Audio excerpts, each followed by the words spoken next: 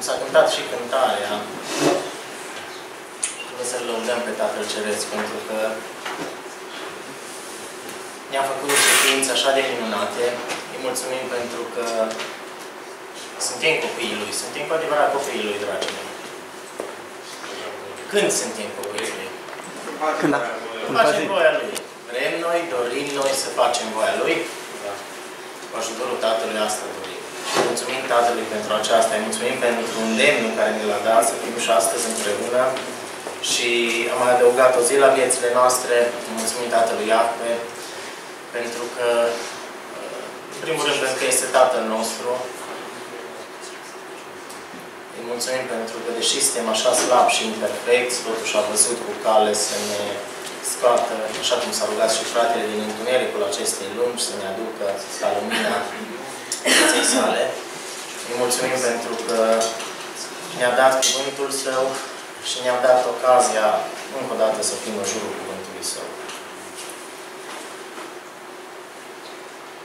Cu ajutorul Tatălui am dorit să ne aplicăm asupra câtorva versete din Scriptură referitoare la, referitoare la Duhul Sfânt și la frică. Adică la două lucruri care se desfășoară în ziua de astăzi. Un om are ori Duhul lui Dumnezeu, ori are frica sau pedeapsa. Nu poate să le aibă pe amândouă deodată. Și am începe cumva să uh, aș dori să intru cu câteva versete în, uh, în discuție, în a vedea cum ar trebui să ne fie, de fapt, uh, starea noastră și inima noastră pe această cale. Un verset care noi l-am mai amintit, din Proverbe 16 cu 9, v-am mai spus, noi obișnuim să-l cântăm pe mașină cu copiii, inima omului se gândește pe ce cale să meargă, dar Domnul îi îndreaptă pașii. Uh, în momentul în care omul natural dorește să-și aleagă pașii în viață, pașii aceia, aș putea să zic, sigur, duc înspre moarte. În momentul în care omul duhovnicesc își alege pașii, de fapt nu alege pașii, ci Domnul alege pentru el. Și acei pași duc spre ce? Spre viață. 100% duc spre viață. Obligatoriu duc spre viață. Și de ce zic asta? Pentru că, dacă deschidem la, la Psalmul 25,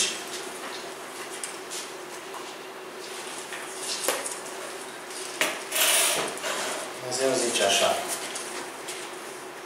Dacă citim din Psalmul 25, să citim la versetul 9. El face pe cei smeriți să umble în dreptate. El învață pe cei smeriți calea sa. Observăm o atitudine a omului lui Dumnezeu. Ca omul lui Dumnezeu să fie învățat de către Dumnezeu, trebuie să aibă o atitudine. Acea de învățăcel, de smerit. Nu acea de învățător, nu acea de uh, mai mare sau de atot știutor. Cum se întâmplă în ziua de astăzi. Și vedeți că există atâtea persoane care uh, voi știți că ei le știu pe toate și atunci tu nu poți să înveți nimic. De fapt, nu tu înveți că Domnul față. În momentul când citești un verset cuiva, nu citești cuvântul tău, ci citești cuvântul Domnului. Și atunci, dacă acel verset nu reflectă în inima celelalte persoane, cealaltă persoană, eu zic că trebuie să mai lucreze la starea de smerire. Mă gândesc eu. Toate cărările Domnului, citim mai jos de la 10, toate cărările Domnului sunt îndurare și adevăr pentru cei ce păzesc legământul și mărturiile Lui. Referitor la legământ și la mărturii, noi știm că nu mai suntem sub lege, noi niciodată n-am fost sub lege și suntem sub legământul de har sau sub noul legământ. Pentru numele Tău, Doamne, iartă-mi fără de legea, căci mare este. În principiu, noi știm că avem, în primul rând ne-am născut în păcat. Mama noastră ne-a zămârțit în păcat. Datorită păcatului adamic am moștenit acel păcat. Dar avem și păcatele care le facem cu voia sau fără voia. Acele păcate, noi suntem conștienți de ele sau nu suntem conștienți de ele, acele păcate sunt toate iertate prin sângele Domnului Isus, care a curs la Golgota pentru toți. Odată pentru totdeauna. Și acum se ridică întrebarea, în versetul 12. Cine este omul care se teme de Domnul? voi toți, care vă amintiți copilăria voastră, teama de tata exista. Teama de tata nu era ceva, acum eu vorbesc ipotetic, există cazuri și cazuri. Teama de tata nu era o teamă de subjugare, de sclavie. Era o teamă de fiu. Fiu-tată, relația fiu-tată. Era o teamă de respect, o teamă prin iubire, că știai că tata te iubește orice ar fi. Știai când erai mică, dacă făceai ceva rău, tata te pedepsea sau te cizela, te mustra, te îndruma cumva. Sau te oprea din a mai face acel lucru. Deci această teamă o dorește Domnul. Dar putem pune și teama, chiar teama tipică, fiind lut și fiind un vas crăpat, nu cred că ne-am dorit să ne luăm la îndoială cu olarul și să ne luăm la discuții cu olarul pe de ce suntem unii așa, unii altfel, pe de ce pe noi ne-a făcut așa și să-i adresăm unele întrebări olarului, care el știe mai bine câtă crepătură lasă și câtă încercare și ce fel de vas de cinste sau de cinste mai puțină. Și atunci, ca să fii vas de cinste, ce zice? Trebuie să faci anumite lucruri dacă dorești să fii vas de cinste. Deci teama uh, este importantă. Este o latură importantă a caracterului omului lui Dumnezeu. Încă o dată, nu vorbim aici de ceea ce se vorbește în lumea creștină. Teama de anumit chin, care nu e o idee scripturală.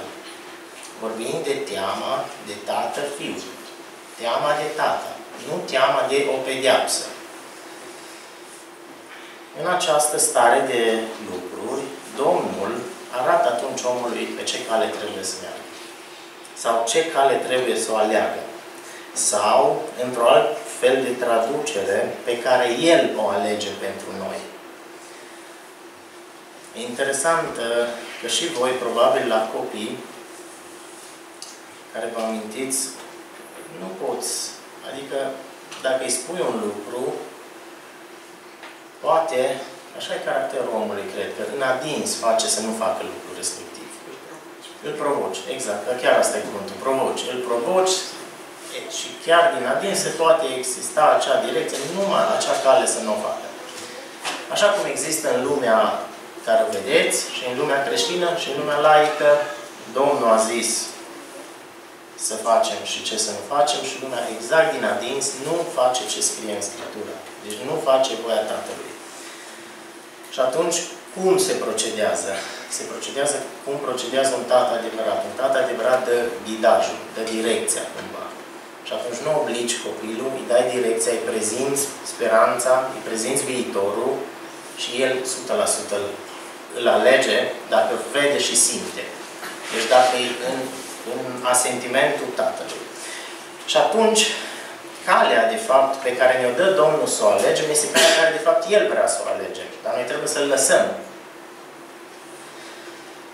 Sufletul Lui, aceluia care face acest lucru, va locui în fericire, sămânța Lui va stăpâni țara. Și un verset frumos. Prietenia Domnului este cu cei ce se tem de El.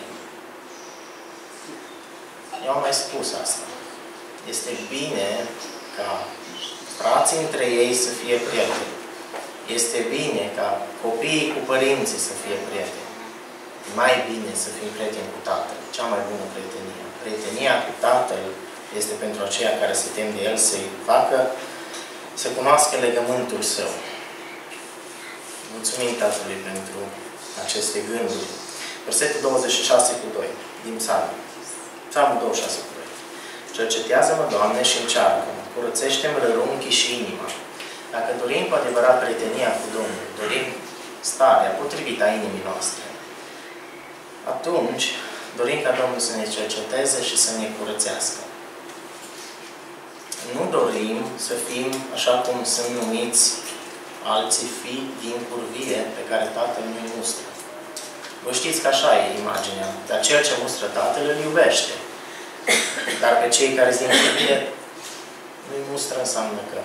Și atunci nu apare iubirea care ar trebui să fie. Deci când Tatăl ne iubește, la fel și în relația fizică în familie. În momentul în care cerți sau mustri un copil, îl iubești. Psalmul 27 cu 1. Domnul este lumina și mântuirea mea. De cine să mă tem? Deci dacă Domnul, Iahve, cuvântul corect, Iahve este lumina mea și lumina și mântuirea mea, de cine să mă tem?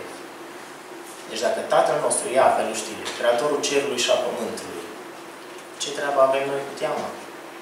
De altceva, de orice altceva, în afară de El, care, care ne-a creat și care e olară. Domnul Iahve este tăria vieții mele. De cine să-mi fie frică? Un lucru interesant este că, în general în culte și în general în lume, zic în general pentru că este excepție, se predică frică. Se coordonează și se manipulează prin frică. Nu se dorește lucrul. Tata nu dorește lucrul ăsta pentru copiii lui. Tatăl îți arată iubirea. Cum i-a arătat el iubirea nouă? Cum? Exact, când l-a dat? Când vă Da, dar este expresia în Biblie. L-a dat pe Fiul Său pentru noi, pe Deci când eram noi noi păcătoși. eram păcătoși. Deci înainte ca noi să ne dăm seama de starea noastră de lucruri, El deja a pregătit pe Fiul Său.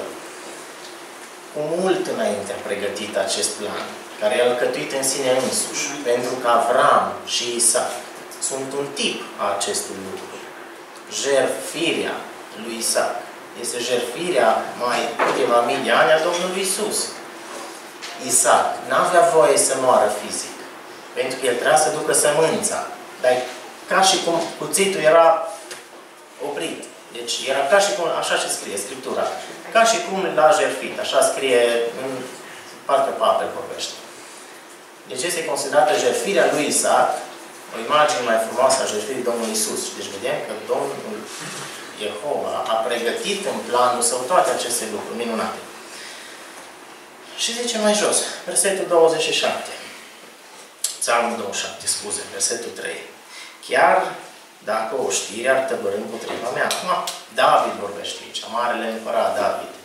El e profet.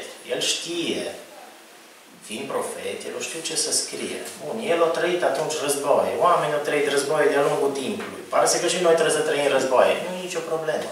Domnul ne spune și Biblia reală tot timpul. Și zice așa, dacă o știre ar tăbări împotriva mea, inima mea tot nu s-ar teme.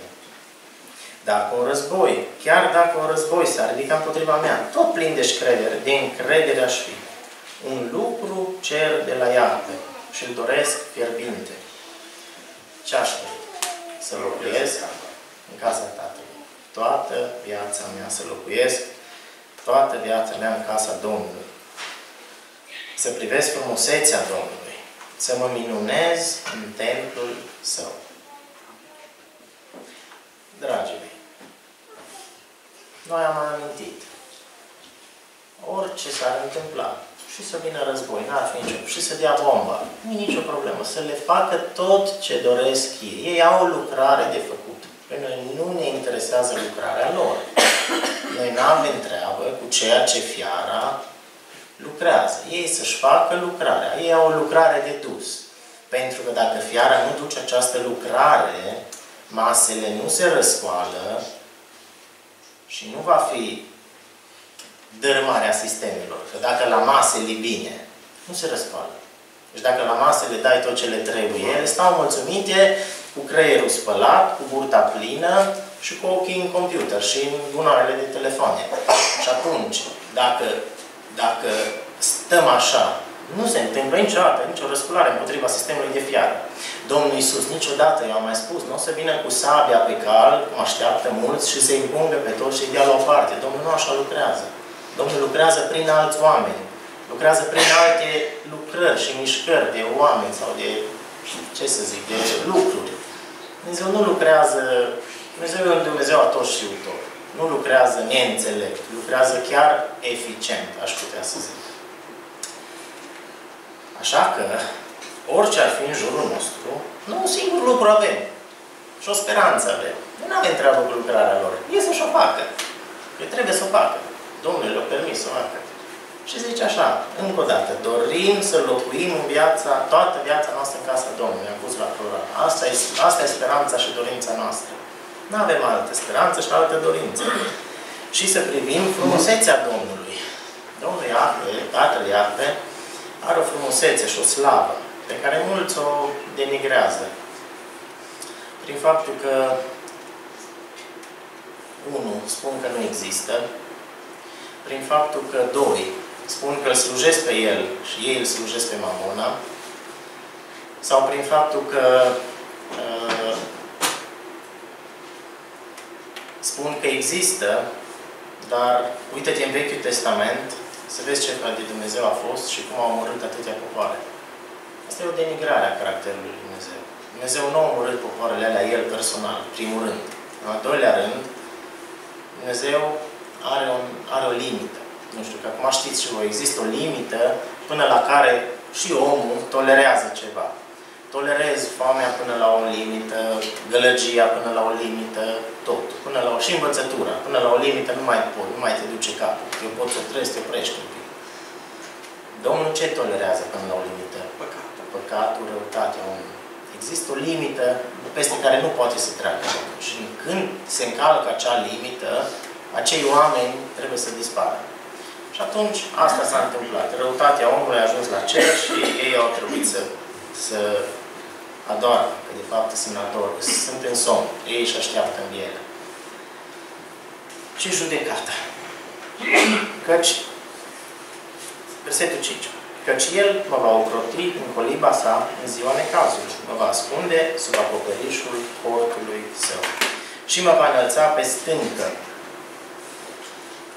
În ziua necazului, oricare ar fi el, de-a lungul creștinătății au fost atâtea necazuri și atâtea încercări, cei ai Domnului au fost grijiți. Încă o dată zic, grija e de două feluri. Unu, da, se poate și grijă fizică. Să ne grijească Domnul și fizic. Cea mai importantă e grija spirituală. A fi grijit în sensul a fi păzit pe partea spirituală. De ce zic? Pentru că corpul acesta, voi știți că nu are moștenire. Corpul ăsta fizic, carne, asta nu moștenește împărăția. Altceva. Deci, în împărăție nu vor mai fi corpuri de carne. Această carne trebuie dusă în mormânt și după cum bine vedeți, lungul, de-a lungul uh, istoriei recente, de când a apărut Cuvântul lui Dumnezeu în lume, eu aș zice de când Domnul Iisus la uși și bate, omul atunci a prins cuvântul. Și eu aș putea să zic că pe scara, pe scară grafică, tot mai puțini oameni sunt interesați de cuvânt. Tot mai puțini oameni doresc să-L urmeze pe Dumnezeu și să schimbe trăirea lor.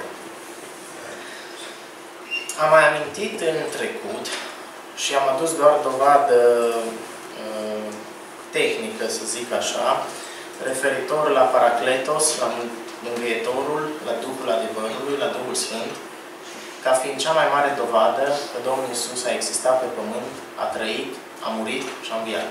De ce am zis asta? Haideți să ne mai amintim o dată. Când s-a dat Duhul Sfânt? La Rusalii. Deci după ce eveniment în viața Domnului Isus? După înviere. După înviere. Asta dovedește înviere. Am mai spus, dacă tehnic, eu vorbesc aici rațional, tehnic, dacă Duhul Sfânt era dat exact ca la Rusalii, După înălțarea la cer.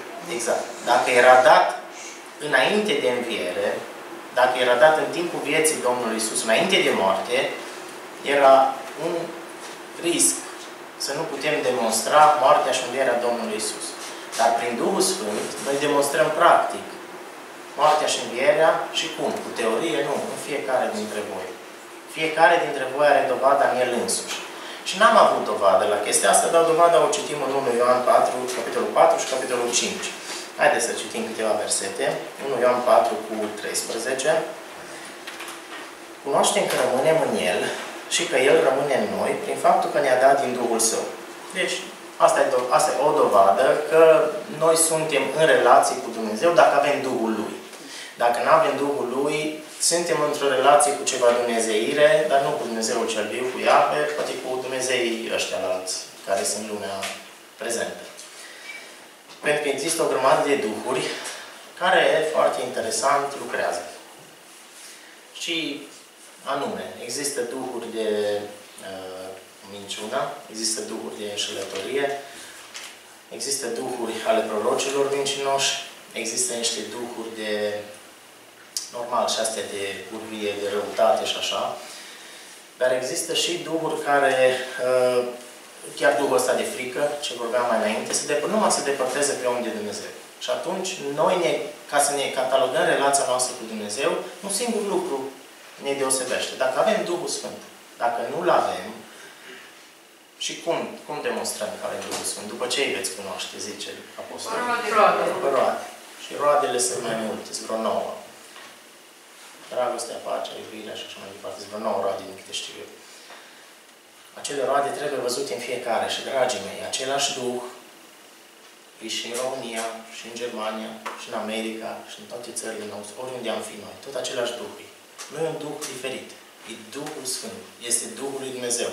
Și am mai amintit, din punctul meu de vedere, sunt doar două Duhuri mari în lume. Duhul Sfânt, care are categorii de roade, și Duhul celui rău, care și el are categorii.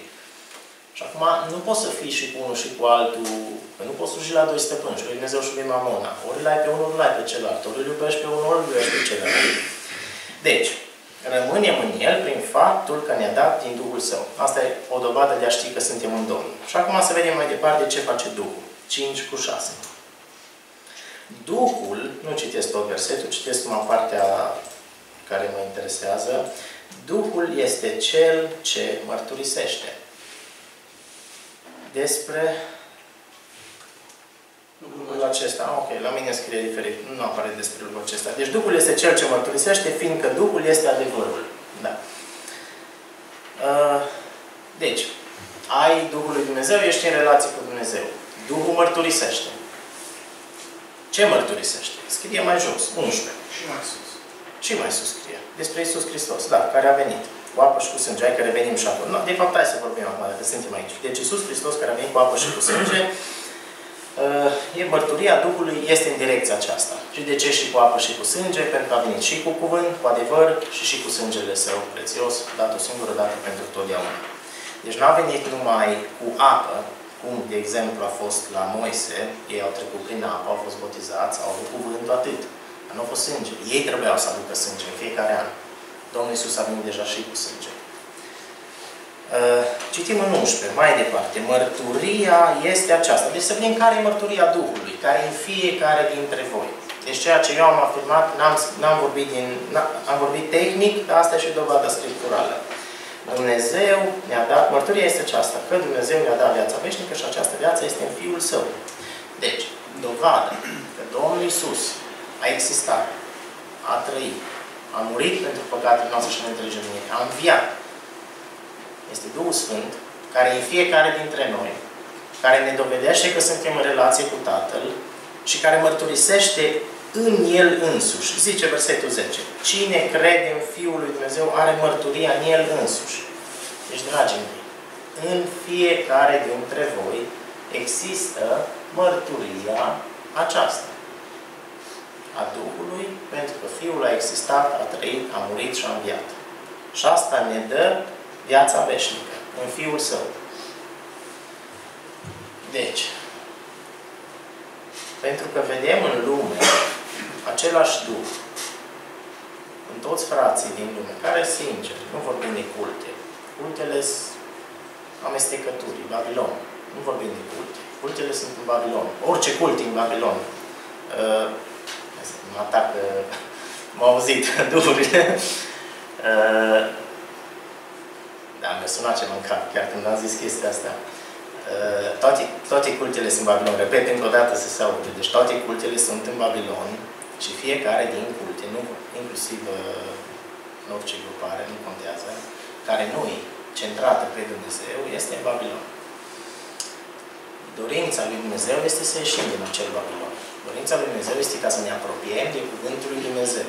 Dorința lui Dumnezeu nu este ca să vină cineva în față, omul să meargă duminică să stea într-o bancă, să vină cineva în față să-i vorbească și după să ducă acasă și la săptămână să vină iarăși. Asta e cultul. Și să-i dai zeciuială. Nu asta e dorința lui Dumnezeu. Dorința lui Dumnezeu este ca uh, hai că o citim. Hai să o citesc, e mai bine să o citesc. Ioan 14. Zice așa. Ioan 14 cu 23. Putem să știm și 22. Doamne, cum se face că te vei arăta nouă și nu lumii? Deci Dumnezeu are o lucrare cu cei ai Lui, nu cu lumea. 20, 23. 14 cu 23 Ioan. Iisus a răspuns și a zis, dacă mă iubește cineva, va păzi cuvântul meu și Tatăl meu îl va iubi. Noi vom veni la El și ne vom face locuința împreună cu El. Deci dacă păzim cuvântul, asta înseamnă că trebuie să știm cuvântul. Tatăl și Fiul viu și își fac locuința cu tine, frate și soră. Deci dacă Tatăl, Tatăl Iahve nu știrilor, locuiește cu tine. Ce treabă mai ai să-ți fie să te intereseze de orice altceva în primul rând și să-ți fie teamă de orice altceva în afară de Tatăl Iahve nu știrilor. Duhul este Cel care ne confirmă această relație. Duhul Sfânt este Cel care confirmă această relație. Nimic altceva nu confirmă. Prin faptul că cineva zice ceva, aia nu e o confirmare. Prin faptul că cineva trăiește într-un anumit fel, aia e confirmarea. Și se vede. Uh, deci, încă o dată, în noi înșine avem mărturia că Domnul ne-a dat viață veșnică prin Fiul Său. Și mulțumim pentru această lăudație prin numele Său. Amin. Uh, haideți să citim în 2 Corinteni, capitolul 3 cu 6. Ca să ne dăm seama că nu trebuie să rămânem la... Asta le zicea evreilor din acea perioadă, că, deci Apostolul Pavel le zicea, referitor la legământ, că trebuie să fim în, să fim în stare să ne-a făcut în stare să fim slujitori al unui nou legământ, deci al legământului de har, acestui nou legământ, nu al literei, ci al Duhului, căci litera omoară, iar Duhul dă viață. Deci cumva nu, mântuirea nu se mai atinge prin faptele care se atingea înainte în legământul legii, ci prin credință și prin har. De aceea, în această idee este nevoie de a avea Duhul lui Dumnezeu pentru a avea credință, pentru a avea cunoștință, pentru a avea putere de a merge mai departe și de a face voia Tatălui. Dacă citim în Efeseni, tot în aceeași idee, Efeseni 1, Chiar s-a cântat și în cântare 1 cu 4. El ne-a ales în El, înainte de întemeierea lumii, ca să fim sfinți, fără pată, înaintea Lui în dragoste. Ne-a rânduit mai dinainte pentru un fiere, prin Isus Hristos. Nu neapărat uh, apare imaginea predestinării tipice, adică în a crede că dacă cineva este sortit pe Irii, va fi sortit pe Irii. Eu cred că Tatăl nu este așa fel de Dumnezeu. Eu cred că imaginea bisericii a fost văzută dinainte, imaginea credincioșilor a fost văzută dinainte și nu uh, sortirea unui om spre eșec, pentru că atunci Tatăl nu ar fi un Tată care să dea libertate, așa cum scrie Domnul Iisus spune așa, ne-a eliberat, eliberat de păcat și de toate acele legături care ne țineau. Asta înseamnă că fiecare este un eliberat al Domnului. Dacă dorește, unul să se teamă de Domnul, cum am citit, să intre în prietenia cu Dumnezeu, să aibă Duhul Sfânt și așa mai departe. Cine refuză acest lucru, atunci nu intră în categoria aceasta de a fi rânduit mai dinainte. și citim mai jos, în el avem răscumpărarea prin sângele Lui, iertarea păcatelor. Citim mai jos. Ni s-a făcut, uh, pe care l-a răspândit din belșug, deci după bogățiile Harului Său, pe care l-a răspândit din belșug peste noi, în orice înțelepciune, pricepere, făcându-ne cunoscut taina voii sale. Potrivit bunei sale plăceri pe care și-o pusese în, în gând în sine însuși. Pentru administrarea, sau probabil altă am sub sol o traducere, economia sau dispensația plinătății timpurilor, spre a uni Hristos toate lucrurile, care sunt în ceruri și care sunt pe pământ. Am primit astfel în el, am primit o moștenire, fiind rânduiți mai dinainte după hotărârea aceluia care lucrează toate după sfatul voii sale. Deci avem o moștenire și acum să vedem cum primim sau de unde știm că avem moștenirea? Așa numai să le zică tatăl, am înțeles, dar trebuie să ai și o licărire, că chiar ți-a dat moștenirea, că intri în categoria cea de întâi născut. Că vă știți că în Egipt, întâi născuți erau aceia care erau în pericol de moarte. Ceea Egiptului zice că am dat tot Egiptul pentru tine. Pe toți i-au sacrificat. Toți întâi Egipt, toți întâi născuți egiptenilor au fost sacrificați pentru Israel. De aia ei, după aceea, trebuiau să-și răscumpere ei întâi născuți, din cauza asta. Ei trebuiau să meargă să dea câte o miel sau ce aveau pentru fiecare, dacă vroia, dacă nu trebuia să-i frângă gâtul. Zice așa, în care noi, 13, în care și voi, după ce ați auzit cuvântul adevărului, Evanghelia mântuirii voastre, ați crezut în El și ați fost pecetuiți cu Duhul Sfânt al făgăduinței, care este o arvună a moștenirii noastre, pentru răscumpărarea stăpânirii dobândite spre lauda slavei Lui. Deci, dovada moștenirii este arvuna sau este Duhul Sfânt. Este Paracletos, acesta care ne călăuzește. Este acest mângâietor care a fost cu omenirea de-a lungul vârstei evanghelice și este în continuare. În versetul 11 apare această moștenire care a fost rânduită mai dinainte. Deci rânduiți mai dinainte, după hotărârea aceluia. Aceluia fiind Tatăl Iahve. Și acum acolo este o traducere, o traducere, o trimitere, îmi cer scuze, la Isaia 46. Și de acolo o să deschid la Isaia 46 și o să ne învârtim un pic în Isaia, în jurul a câtorva versete. După care cu Isaia încheiem în mare. Deci Isaia 46, să citim exact trimiterea. Cu 10 și 11. Isaia 46, 10, 11. Domnul, e vorba de Tatăl Iarbe, care spune sfârșitul de la început. Deci spunând sfârșitul de la început. Cu mult înainte ce nu este împlinit încă. Eu zic, hotărârile mele vor rămâne în picioare și îmi voi aduce la îndeplinire toată plăcerea mea.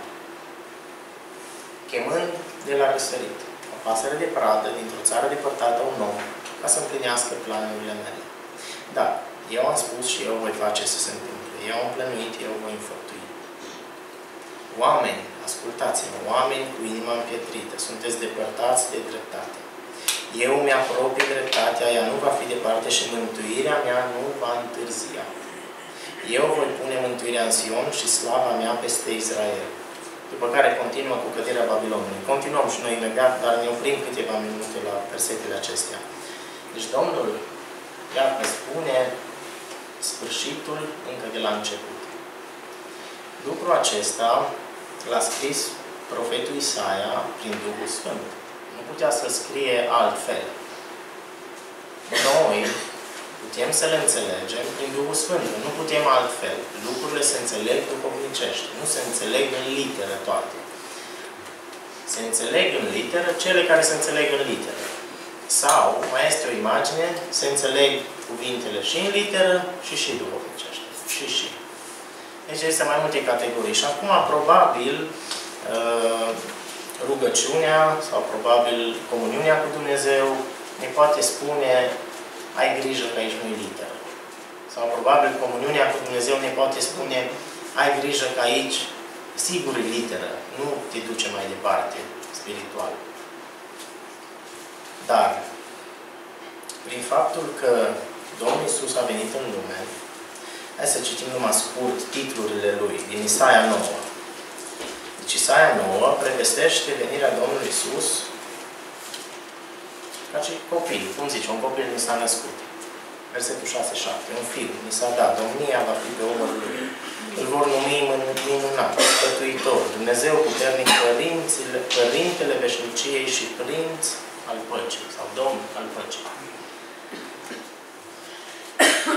A adus Domnul Iisus pacea când a venit El în lume.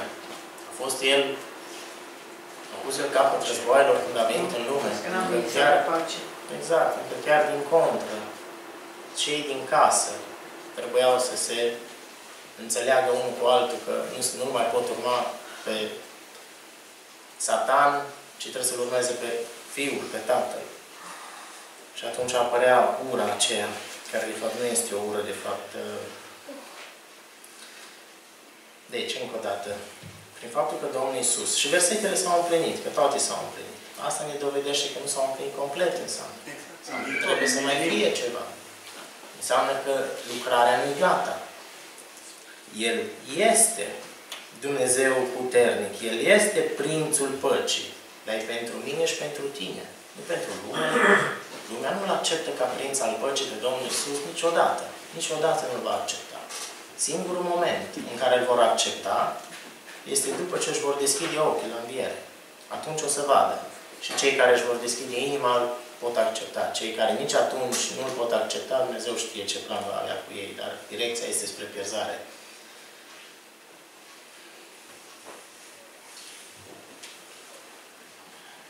Procesul de a-L cunoaște pe Dumnezeu și astăzi este un proces îndelungat. Este un proces de viață întreagă.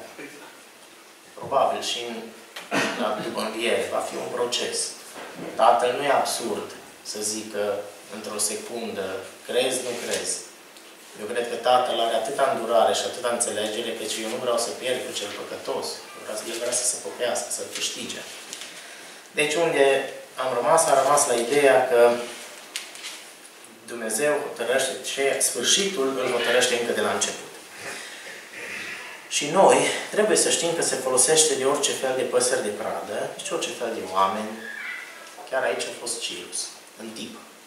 Aici era Cirus. Cirus era acel om care e prevestit aici, care să împlinească planurile lui Dumnezeu. Uh, mai există încă o imagine. Nu putem zice că s-a încheiat totul cu Cir. De ce? Haideți să citim de ce. Dăm, dați, vă rog, trei pagini în spate la Isaia 41 cu 8. Dar tu, Israel, robul meu Iacov, pe care te-am ales. Deci Israel, Iacov, pe care te-am ales. Sămânța lui Abraham, prietenul meu. Sămânța lui Abraham. Și atunci Apostolul Pavel ne explică cine e sămânța lui Abraham și voi toți știți. Galaten 3 cu 29. Dacă sunteți ai lui Hristos, sunteți sămânța lui Abraham potrivit făgăduinței. Deci, înseamnă că tot, deci literal, tot, prin ce a trecut, toate întâmplările prin care au trecut evreii, ca tip ca și carne, ca și națiune, datorită faptului că este, este și o zicală, nu-ți cunoști istoria, ești sortit să o repeți, datorită acestui lucru, repete încă o dată Israelul spiritual. În primul rând, Domnul a lăsat intenționat lucrurile așa. Eu cred că a venit Domnul Isus în lume, ei l-au respins. Cei ai Lui nu l-au ales, numai o mână de oameni. Vine Domnul Isus prin cuvânt, stă și bate la ușa omenirii de 100 și ceva de ani. Nu, nu nimeni din cei care se cred sus puși, doar cu numele.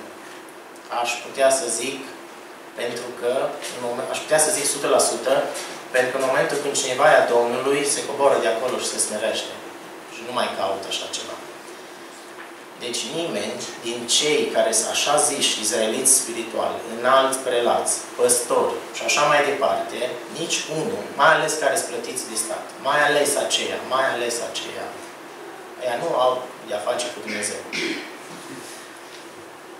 Dumnezeu nu, nu lucrează în așa, în așa fel. Dumnezeu lucrează cu o soră, cu un frate, lucrează cu unul de aici, cu unul de acolo. Aia e Biserica Lui Dumnezeu. Indiviz. Nu e o grupare. Biserica Lui Dumnezeu nu e o grupare. Biserica Lui Dumnezeu este o turmă mare, o turmă mică, scuze, nu e o turmă care să zici că, uite, asta e clădirea asta, ține aici, asta e Biserica Lui Dumnezeu, așa ceva nu există. Cine zice lucrul ăsta, eu cred că e în pericol. Și se afirmă lucrurile acestea, se descrie în organizație că dacă nu vei pieri, nu e așa ceva, nu există așa ceva. Dumnezeu nu lucrează așa. Dumnezeu lucrează cu sămânța. Sămânța este cel care e al lui Hristos. Cine îl are pe Hristos, atunci ai sămânța lui Avram și atunci, conform Isaia 41 cu 8, trebuie să citească mai departe totul spiritual din Isaia. Cel puțin din Isaia vorbim. Și acum, haideți să citim spiritual câteva versete din Isaia. Adică să trecem de ceea ce a pățit evreul tipic. Deci tu, frate și soră, ești sămânța lui Avram. Avram care a fost prietenul lui Dumnezeu. Pe care l-a luat de la marginile pământului. Și pe tine te-a luat de la marginile pământului, din întunecime, cum a zis și frate. Ne-a luat cine știe de unde ne-a luat pe fiecare. Ne-a scos din cine știe din ce locuri. Din pustiul lumii. Din pustiul lumii a luat câte unul, câte unul. Nu se ia în zmoc. Deci nu așa se iau copiii lui Dumnezeu la grămadă, ci Domnul îi identifică pe fiecare acele caractere. Chemarea se face totdeauna pe nume. Mă nu scrie aici, dar o să citesc un alt verset probabil. Te-am chemat din țară depărtată. Așa, tu ești slujitorul meu, te-am ales, nu te lepă. Deci așa i-a spus la Avram, tot în aceeași idee, nu te teme, eu sunt cu tine. Nu te uita cu îngrijorare. Isaia 41 cu 10. Căci eu sunt Dumnezeul tău, eu te întăresc, tot eu îți vin în ajutor. Eu te sprijin cu mâna dreaptă a dreptății mele. Dragii mei, așa cum i-a spus la Avram. Și dacă noi credem că suntem sămânța lui Avram, trebuie să ne răsunde și nouă versetele. Dacă Domnul e cu tine și îți vine în ajutor, nu ai nici o treabă și nici o îngrijorare. Și zice așa, versetul 11, o să parafrazez unele versete. Cei ce se luptă cu tine vor fi de nimic și vor pieri. Se vede în Israelul tipic. Nu știu dacă voi vă dați seama, dar Israelul cum e acum, reîntors în țară, normal că știm că împlinește profeția. Știm că de când a intrat Cuvântul lui Dumnezeu în lume, lumina din Apocalipsa 18, care luminează pământul, căderea Babilonului, căderea papalității, ca și 1260 de zile. Totul a fost dat la o parte. Întunecimea aceea, am scăpat de acea întunecime datorită Cuvântului lui Dumnezeu. Cuvântul lui Dumnezeu este singurul, singura lumină care mai luminează în ziua de astăzi. În ziua de astăzi, multe așa zise stele sau păstori sau oameni vor să lumineze. De fapt, ei n-au ce lumina. Noi tot ce trebuie să facem este să ațintim înspre cuvânt. Că noi de la noi nu avem ce spune nimic. Și am uitat să amintesc un lucru în... De ce zice totdeauna de la răsărit? E interesantă imaginea. Cirus a venit de la răsărit. Imaginea sau lucrarea de Cir, eu zic, prin decretul său, care l-a dat, voi știți că în decret a spus ca evreii să plece din țară. Hai să vedem. Așa că citim. Ca să nu greșesc. Mai bine să citesc. Haideți să citim. Isaia 45 cu 1. Așa vorbește Domnul către unsul său Cir. Citesc în ebraică. Așa vorbește Domnul către Mesia Cir. Deci mulți erau Mesia. Să știți, Mesia e cuvântul unsu. Foarte mulți erau Mesia. Aveau ungere pentru ceva. Domnul îi ungea pentru ceva. Și acum evreii trebuiau să-L identifice pe acel Mesia care vine.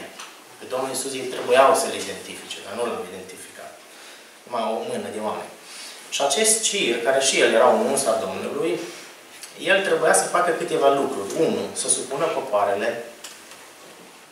Doi, să dezlege brâul împăraților. Acum, dacă eu citesc, am spus, noi suntem sămânța lui Avram. Dacă eu citesc Isaia ca o povestire, eu pierd aici o profeție.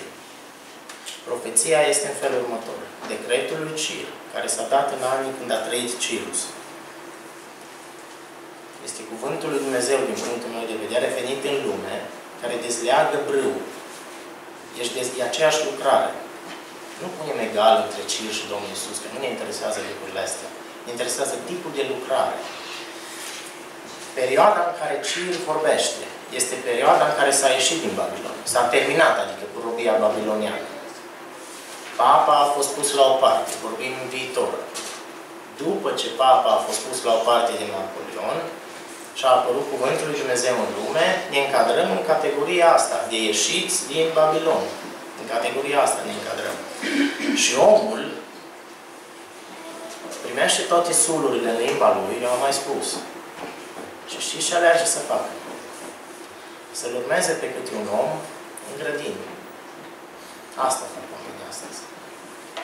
Deci, încă o dată, aia nu înseamnă că un om al lui Dumnezeu nu poate să scrie ceva sau să vorbească ceva sfânt, care e din cuvânt, se reflectă în cuvânt. Dar omul în general, asta e tendința umană și nu știu de ce e așa. Omul are tendința ca în loc să-l urmeze pe tata, pe iarpe, el urmează pe unul altul în grădini și mâncă carne de șoarece. Că e o organizație, că e o femeie, interesant.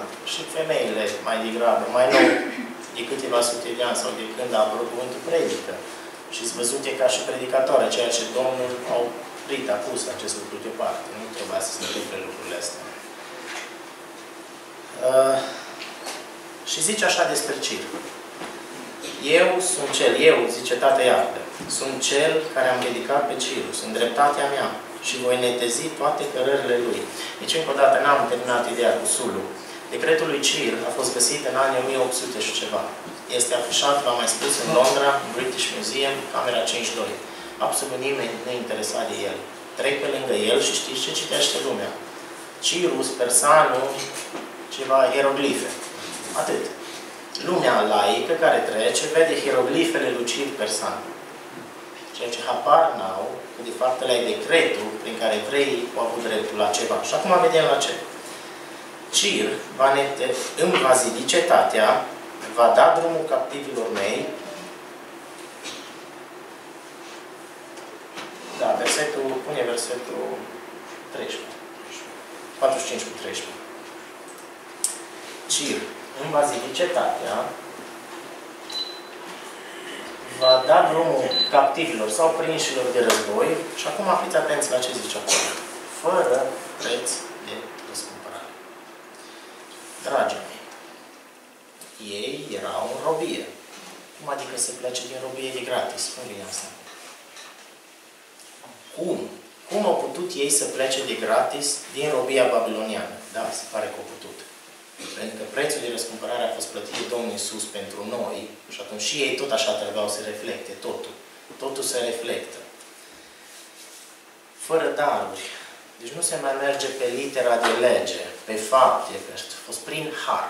Cir le-a făcut un har. Cuvântul ne-a adus un har în lume. Lumea trece pe lângă cuvânt, la fel cum atunci a trecut pe lângă decretul lui Cir și s-a dus vreo 40 ceva de mii înapoi, în loc de câteva sute de mii sau milioane câți erau. La fel astăzi. Evrei din lume, în loc să asculte de rabinii lor, nu e nicio problemă și dacă dau după lege, și să se ducă acasă. S-a stabilit în 1878 prima așezare repetativă. În loc să fie ascultat de sioniști, atâția creștini sioniști, atâția evrei sioniști au fost, în loc să fie ascultat să se ducă acasă, au rămas în țările de baștină, România, Polonia, Ungaria și așa mai departe. Iar câțiva ani mai târziu să ajungă în Auschwitz și în Birkenau. Isaia și Ieremia spune acest lucru. Vă citesc Ieremia doar, un singur verset din Ieremia. Uh, în Ieremia zice acest lucru. 11, 30 cu 11. Eu sunt cu tine, zice Domnul, să te mântuiesc. Voi nimici toate neamurile printre care te-am risipit. Dar pe tine nu te voi nimici. Te voi corecta cu dreptate. Nu pot să te socotesc nevinovat. Niciodată Domnul n-a lăsat nedreptatea. 14. Toți cei ce te iubeau te-au uitat. SUA, Marea Britanie și așa mai departe. Uitat de evrei vreo patru ani au uitat. Nu? Ce să faci? Că asta este. Nu, nu n-am știut, n-am știut. Să credeți voi că nu știu. O știu 100%. E, de aia, SUA, Marea Britanie și multe alte țări își vor lua și ele pedeapsa. Pentru că sunt antisemite. Niciunuia nu-i pasă de tine, căci te-am lovit cu o rană ca pentru un vrășmaș. Te-am disciplinat cu un om crud. Hitler și mulți alții care Domnul i-a folosit în disciplină. Aia nu înseamnă că Hitler a fost un om bun. Hitler o să aibă pedeapsa lui și corectarea lui și, și rușinea veșnică că a suprit poporul lui Dumnezeu. Aia, aia o să rămână. Dar Dumnezeu zice că îi va vindeca, că le va lega rănile, că îi va aduce înapoi și că cetatea va fi iarăși zidită și locuită. Și noi știind lucrurile acestea și știind atunci ce a lucrat Dumnezeu cu Cir și cu tot ceea ce s-a întâmplat în acea perioadă, ni se spune despre idolii Babilonului. Bel se prăbușește, Nebo cade. Isaia 46, am revenit. Ni se spune, cu, cu câteva versete închei, ni se spune despre uh, să ne dăm seama un pic și ce înseamnă focul. Pentru numele meu îmi voi amâna mânia. Mânia. Să vedem ce zice Domnul referitor la mânie. Pentru slava mea mă voi opri față de tine, ca să nu te nimicesc. Isaia 48 cu 9. Isaia 48 cu 10. Te-am curățat, dar nu ca argintul. Te-am încercat în cuptorul întristării. Ați observat ce înseamnă focul? Ne-a explicat Domnul. Mânia lui Dumnezeu în cuptorul de foc al încercării. Nu scrie foc aici, era cuptorul de argint, era în foc, nu era în apă. Mai departe, uh, Dumnezeu vorbește în 17, eu, Domnul, te învăț ce este de folos și te conduc pe calea pe care trebuie să mergi și direcția ne dă în 48 cu 20. Ieșiți din Babilon, fugiți din mijlocul caldeenilor. Dați de știre până la capătul pământului. Domnul Iahve a răscumpărat pe robul său Iacov. Păi, dragii mei, dacă lucrurile acestea, repetăm, s-au întâmplat odată în perioada lui Cir, 1. S-au întâmplat odată în, din 1878 cu prima așezare până în 48 ca fiind țară și se continuă și acum. Păi vă credeți că spiritual nu se întâmplă? Noi suntem sub ele. Suntem în aceeași stare și noi, ca izraeliți spirituali. Domnul răscumpără pe Iacov. Deci în aceeași imagine ne aflăm și noi. Și mai am uh, uh, un verset, în 49 cu 12, iată că vin de departe, unii de la miază noapte, de la Apus, alții din țara Sinim, bucurați-vă ceruri, fi bucuros pământule. Eu am mai spus de atâtea ori. Uh, când vedeți, ați văzut, v-am arătat data trecută, am arătat uh, pozele astea care le face NASA cu galaxiile și cu tot ceea ce prezintă ei. Ei nu-și dau seama că laudă pe Domnul prin lucrarea lor, arată o minunăție a creației. Dragii mei, voi chiar credeți că Creatorul, Tatăl cerurilor și a Pământului, a care cerui scaunului de domnie și picioarele așezute picioarelor lui, chiar credeți că o să le ardă? Chiar credeți că Tatăl, care zice că bucură-te cer și bucură-te pământule, credeți că se referă la lut? La lutul se bucură. Eu am lut acasă, dar lutul lut, lutul nu se bucură. Se bucură omul, se bucură îngerii. Aia da, omul și îngerii se pot bucura. Izbucniți în strigăte de bucurie munților. Munții nu au treabă munții. Munții sunt tot acolo de viacuri. Munții nu, nu se mișcă numai la comanda Domnului, eventual dacă se mai face cu tremur. Căci Domnul a mângâiat pe poporul său și va avea milă de cei întristați ai lui. Deci, ca să încheiem, în principiu, uh, din punctul meu de vedere, prin faptul că Dumnezeu ne-a dat Duhul Sfânt, avem dovada că Domnul Isus a existat. Avem dovada că Domnul Isus a murit pentru noi, toți, pentru draga omenire, o singură dată pentru totdeauna a adus acea jertfă care a iertat păcatele tuturor. Avem dovada că ceea ce a pățit Israelul tipic, fiind sămânța în Hristos, atunci trebuie să ne ducem și în vechime, fiind sămânța lui Abraham, dacă suntem mai lui Hristos, avem dovada că tot ceea ce a trăit Israelul după trup, suntem sortiți să trăim și noi. Dar există o virgulă. Ne zice Apostolul Pavel, toate acestea au fost scrise ca ce? Ca învățătură. Exact. Asta e, asta e diferența față de noi. Noi avem deja cineva care a trecut printre ele și prin acele lucruri și scrise. Și avem și Israelul după trup în zilele noastre pământești, în generațiile noastre. Eu am mai amintit, avem frați și surori între noi, care sunt generațiile care au văzut Israelul întors în țară. Toate aceste lucruri trebuie să ne ajute ca tot ceea ce facem să facem spre lauda, spre slava numelui Tatălui Iacov al știrilor, și nu să avem frica, pentru că frica ne desparte de Dumnezeu. Dumnezeu să ne ajute la aceasta, să fiți binecuvântați. Amin. Amém.